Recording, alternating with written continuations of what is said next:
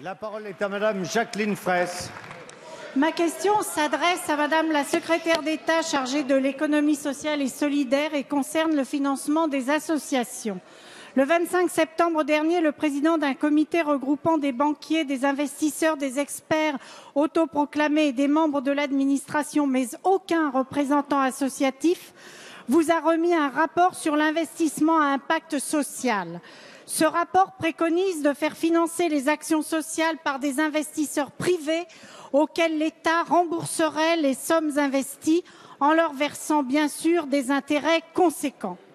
C'est cette dernière précision qui explique l'engouement pour l'action sociale de ces investisseurs privés qui ne sont pas des philanthropes, mais qui voient dans ce mécanisme la possibilité de gagner de l'argent sur les actions sociales de solidarité, voire sur la misère, en créant des produits financiers adaptés à l'action sociale. Si ce mécanisme permet à l'État une apparente économie sur les dépenses publiques, c'est une diminution bien artificielle et de court terme, puisqu'il devra in fine rembourser les investisseurs, payer les intérêts et rémunérer les intermédiaires. De plus, ces dispositions vont tuer la richesse du réseau associatif pour ne laisser subsister que quelques très grosses structures, seules en mesure de répondre à des appels d'offres lancés par des investisseurs financiers qui, de surcroît, se verront imposer leurs objectifs et leurs méthodes. Il en serait fini de la spécificité de la créativité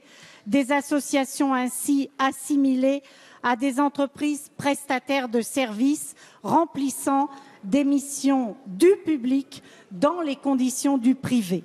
Madame la secrétaire d'État, le gouvernement envisage-t-il d'appliquer les recommandations de ces banquiers de mettre les fonds publics au service de la finance, comme c'est le cas des partenariats publics Merci. La parole est à Madame Carole Delga, secrétaire d'État chargée du commerce, de l'artisanat et de la consommation.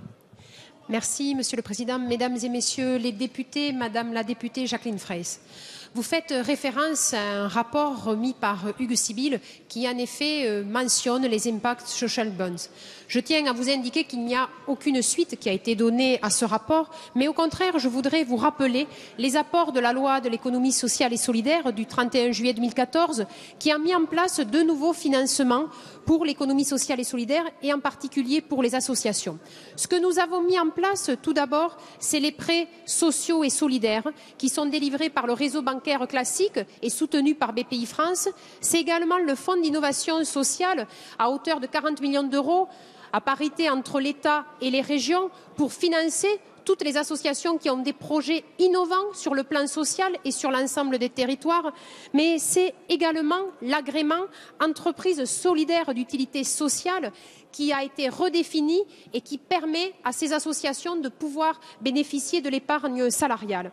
Et puis, nous avons également souhaité, pour les associations, sécuriser la définition de la subvention.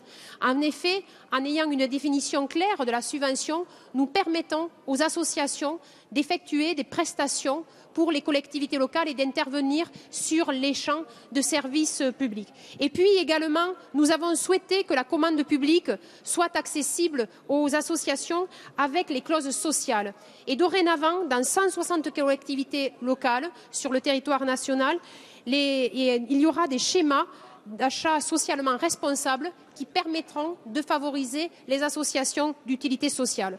Par ailleurs, pour la définition de l'intérêt général, puisque les associations d'intérêt général peuvent avoir accès aux dons et au mécénat. Nous avons demandé avec Christian Eckert une mission à Yves Blain pour pouvoir définir le cercle restreint afin d'assurer un financement clair et pérenne pour nos associations d'utilité sociale. Merci Madame Delga. La séance des questions au gouvernement est terminée. La séance est suspendue pour quelques minutes.